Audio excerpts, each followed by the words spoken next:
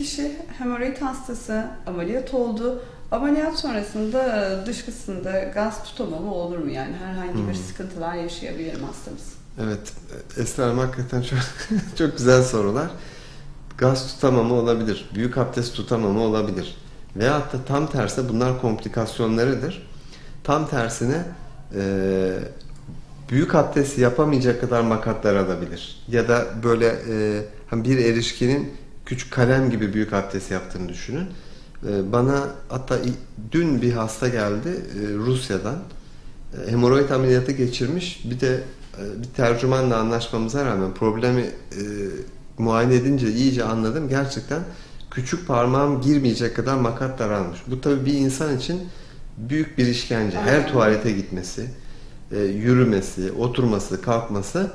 Şimdi burada hemoroid ameliyatı yaparken çok geniş geniş mukoza parçaları alınır ise bir 360 derecelik dairenin bir bölümlerinin alındığını düşünün. Bir de dikildi biraz daralır.